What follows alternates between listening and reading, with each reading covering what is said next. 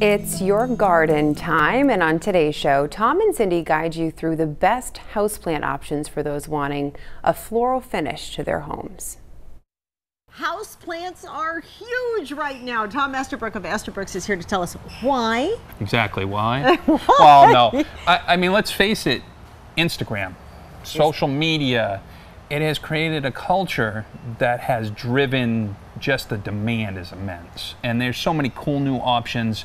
But also, we had all these problems in Florida and Texas and the South with freezing temperatures. And these are all landscape plants down there. Right. So we had the perfect storm. We have a, a, great market where people are looking for cool and new and different stuff, but we also have a market in the south that is going crazy because of the weather problems they had. Okay, so demand is high, supply is a little low, um, but it's also really hip.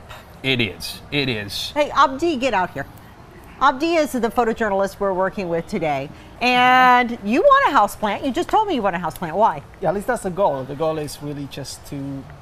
I just got a obviously new uh, new apartment, so what I'm trying to do is you know fill my living room and make it kind of greenish and make it look nice. Add some color, some texture. Uh, create a better uh, air environment. All houseplants will do all of that. So and they're hip right now, supposedly. You think they're hip? I think so. They're, I think cool. Trendy, yeah, yeah, they're trendy. I think what they're very suggest? trendy. Yeah. So this is Pilea.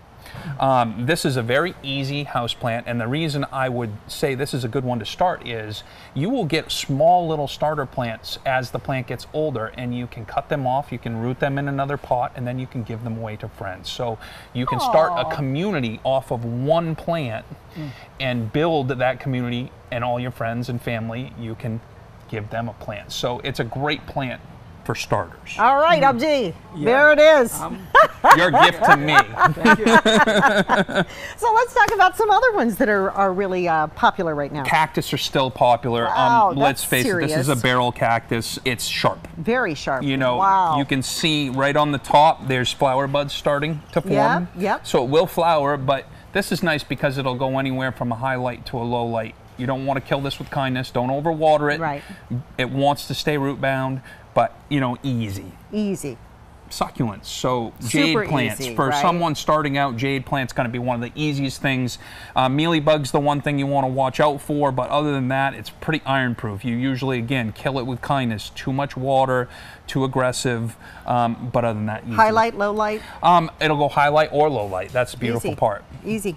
This is Kalanchoe. This is okay? so cool. Another Look at these succulent. leaves. So you can see all the little sports coming off. And those are seeds. Those are little seedlings, Aww. okay? And then if we look in the bottom of the pot, you can see the little oh seedlings my. starting to root. And again, same thing, you can share those over time. What an interesting Very plant. cool. Love that. Snake plant, okay? Oh, is that what they're called? Been called? around Snake forever. plant. This is by far the most ironclad house plant. It's you kill it with kindness. Basically, you put this in a bathroom with no light. And it's fine? And it stays for a long, long, long time. How you know, about very that? easy. Ferns. Easy, easy. This is a cool new fern. Do they know. need to stay kind of wet though? You think of ferns Ferns want to stay of, wet, so okay. sometimes we put a little uh, tray underneath with some Okay. rocks in it. It creates Okay. humidity. Um, low light. All right. Okay. Gotcha. Peperomia. Okay. Yeah, this one's Ginny is the name. Don't put it on your pizza though. No, no, no. Okay.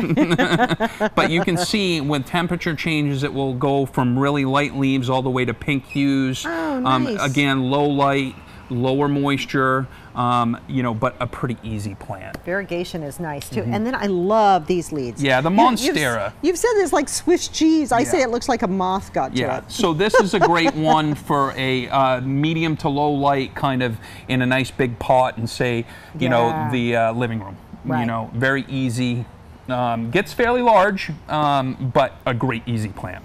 I got to tell you too. Once you start having houseplants, it's hard to stop having houseplants because you you do you get used to the the greenery and the happiness. It's factor. great. It's a great addiction. Yeah, it is. You know, and specifically, yeah, that's right. Specifically over the winter, it gives you something to start working on in the garden, and you know, right in the house, so you can build dish gardens. You also can go ahead and start growing your food inside too. You know, as a house plant. So you know, there's many different ways people can get started, and go to your local garden center. You know, talk to them about how you can get started.